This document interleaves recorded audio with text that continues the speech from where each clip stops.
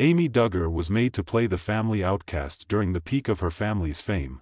She was a perfect fit for the role because she wasn't a part of Jim Bob Duggar's favorite religion and she wasn't afraid to criticize her uncle's most bizarre ideas. However, Jim Bob and the TLC producers worked hard to give the appearance that Amy was a scold from the contemporary world constantly ruining her uncle's patriarchal parade rather than a voice of reason. Of course, we are aware of the situation's reality in modern times.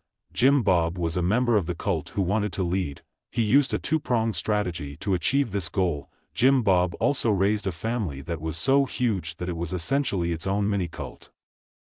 Jim Bob's wickedness was exposed in the recent Amazon Prime video Shiny Happy People, an endeavor that the fearlessly vocal Amy made several years earlier. Amy was a part of the documentary series, and she is now coming out in a critical interview. This week, Amy was questioned directly by Insider if the Duggars ever used rods to beat their children, as was implied in the documentary. I want to retain some of my stories for when I write a book, Amy remarked, but the way she speaks, and how serene and endearing she seems overall, doesn't match the feeling of what might have been happening. The Duggar family started using corporal punishment on their kids when they were very young. According to Amy and other others in the documentary, and in a pretty ominous manner, the parents called this behavior encouragement. She recalled in the document, they basically said, you need to come into the room and we need to give you some support, but it said, do you need encouragement, in the loveliest voice ever.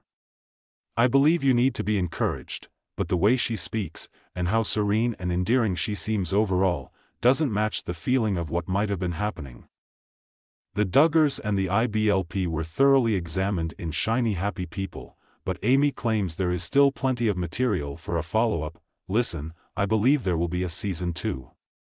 I haven't heard if there will be a season 2, but I honestly hope there will be because you can go deep, she added, adding that she hopes there will be more emphasis on the abuse culture that allowed Josh Duggar's sex crimes to be tolerated. The IBLP has been difficult for a lot of people.